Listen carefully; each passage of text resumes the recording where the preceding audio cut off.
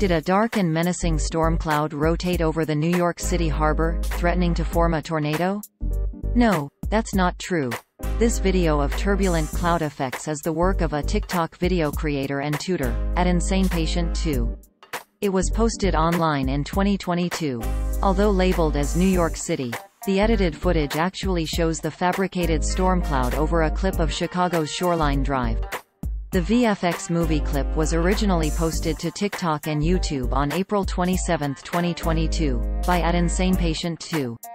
His accounts identify him as a VFX artist, freelancer and video editor, and a link connects to his courses. Although some videos such as this one are titled without disclaimers, interspersed in the collection are, How I Made It, videos.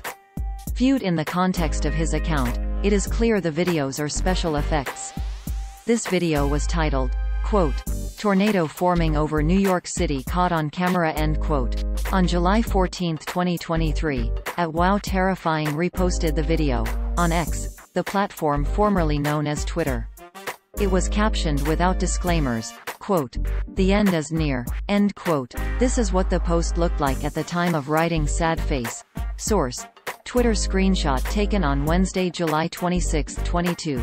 27. 22-2023, UTC. The screenshot below shows a Google Earth 3D rendering of Chicago's Lake Shore Drive. The near high-rise with the notable vertical striping is the condominium complex at 990 N Lake Shore Drive. Source.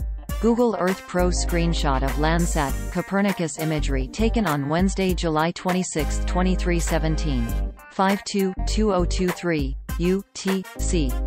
Although the VFX video predates Chicago's storm event of July 12, 2023, there really was a tornado outbreak in the Chicago area.